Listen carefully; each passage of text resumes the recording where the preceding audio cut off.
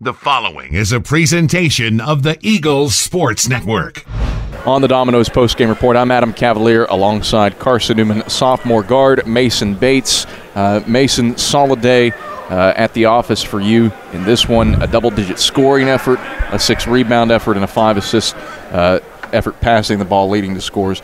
Uh, why were you successful offensively today?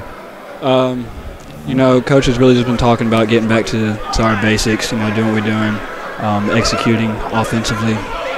And, you know, I think that's that's what we had to do. It wasn't anything I was doing specifically, you know, it's just a uh, happened to be I was getting open shots from, from everybody doing what we were supposed to do as a team.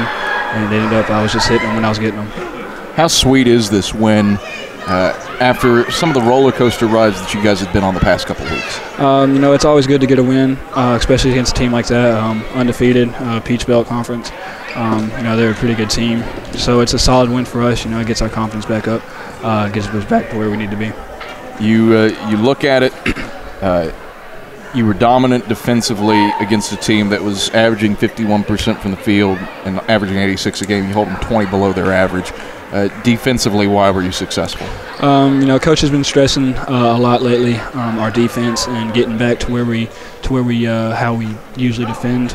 Um, so we just trying to contain the ball more. Um, when one person's on the ball, pack it in. You know, have team contain and uh, finish it out with a rebound uh, to eliminate second, third opportunities for them. Where's the team go from here, welcoming in Newberry for the conference home opener uh, Saturday? Uh, I think we just have to build off this, continue what we're doing uh, defensively. Um, we know what we can do offensively, and just keep doing the same thing. All right, Mason, thanks for the time and congrats on the win. Thank you. That is Carson Newman, sophomore forward, Mason Bates.